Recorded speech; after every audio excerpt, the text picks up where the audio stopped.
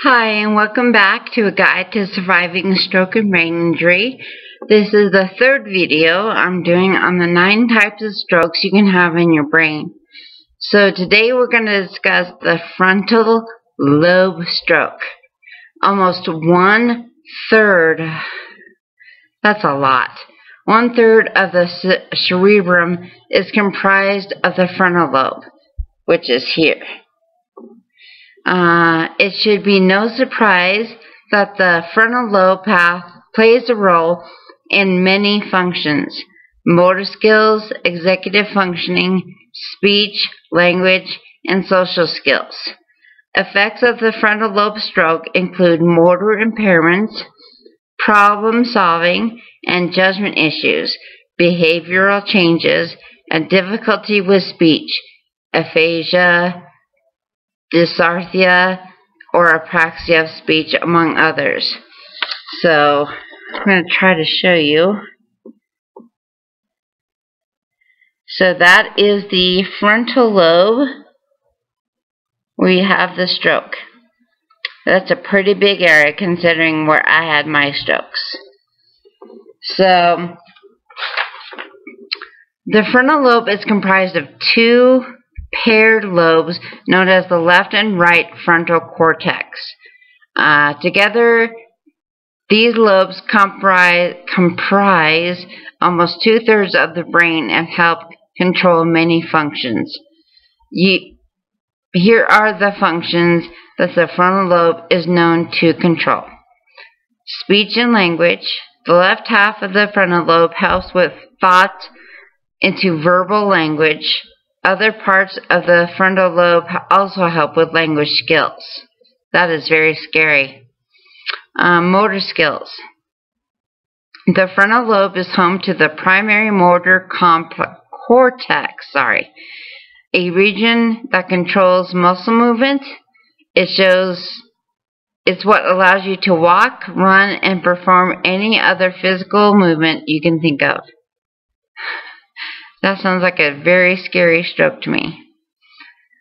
Uh, executive functioning. The frontal lobe plays a critical role in a person's ability to plan, make decisions, manage their needs, and juggle multiple tax, tasks at once.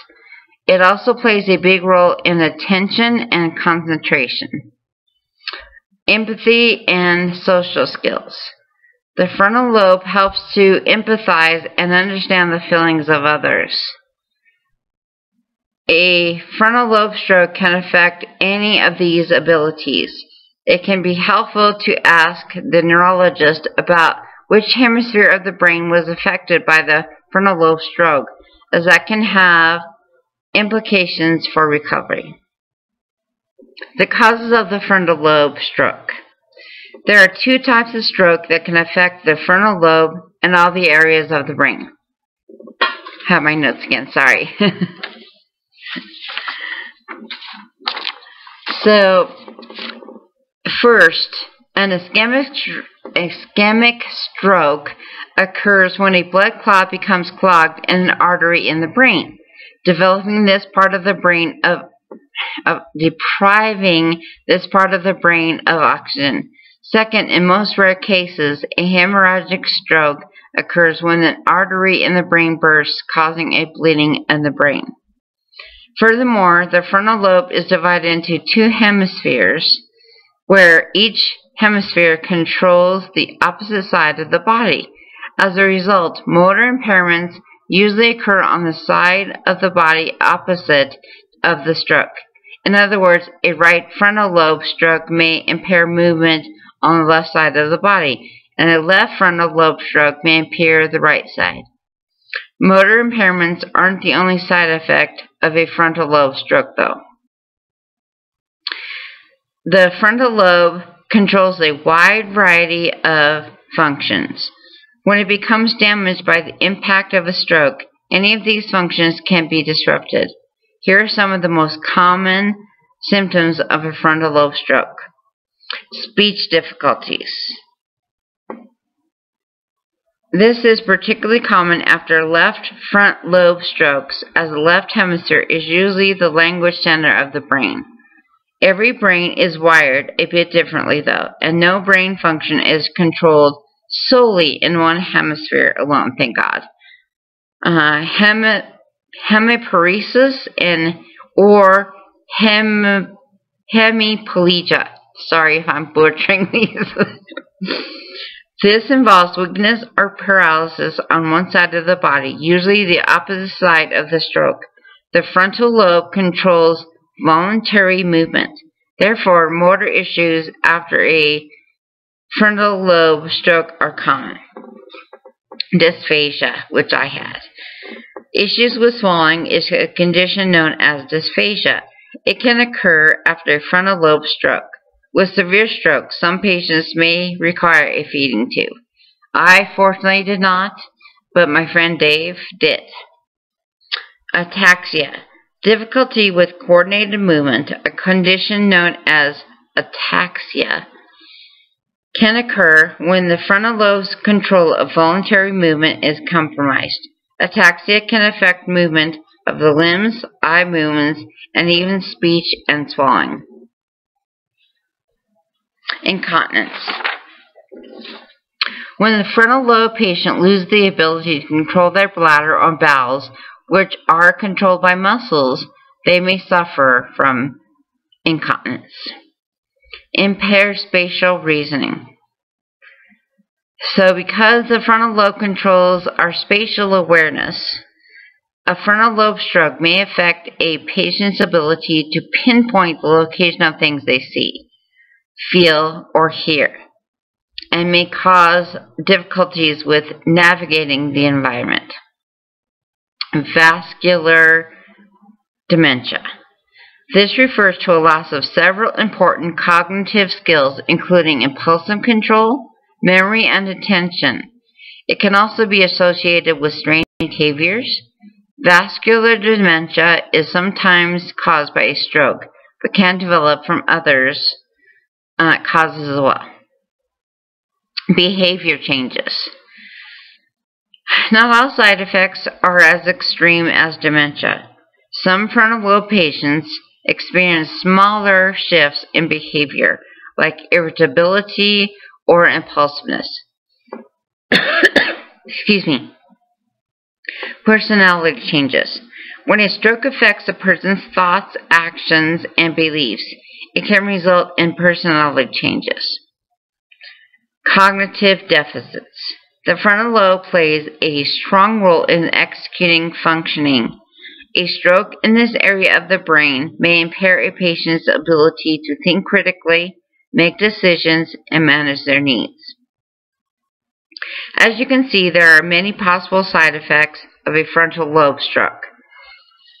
Because the frontal lobe controls many different functions, Every stroke is different, and every brain is wired a bit differently. Therefore, every frontal lobe stroke patient will sustain different side effects. It's important for you guys to know that. The good news is that the brain can heal itself. And some, if not all, side effects can be minimized with intensive therapies and hard work. While the effects of the frontal lobe stroke can be damaging, they are not necessarily permanent. In fact, the brain can reassign functions to healthy portions of the brain to help pick up the slack. Thank God. Our brain is a miracle.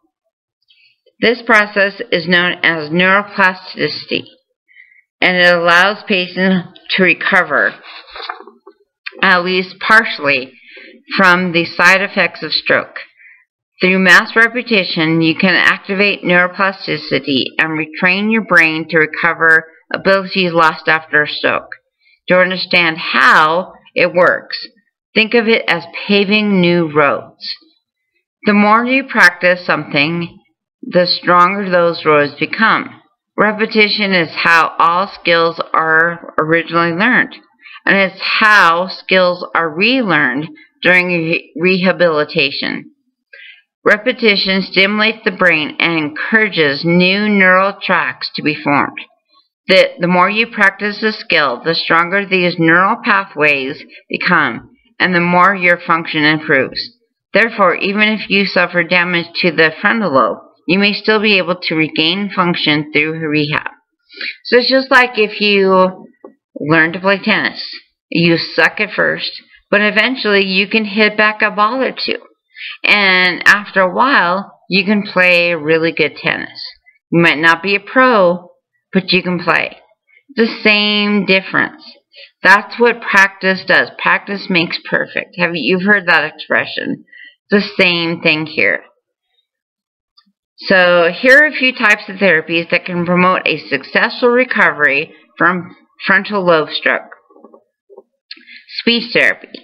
If your frontal lobe stroke caused aphasia, difficulty speaking and or understanding language, or dysphagia, swallowing difficulties, begin speech therapy exercises right away. A speech therapist can teach you how to retrain your brain and regain language skills and can help your swallowing improve as well. And it did me. Physical therapy. To recover muscle strength and coordination, make sure you participate in physical therapy. Daily stroke exercises are key to recovery. By exercising the affected parts of your body, you will stimulate your brain and rekindle the neural networks that help you move. Occupational therapy.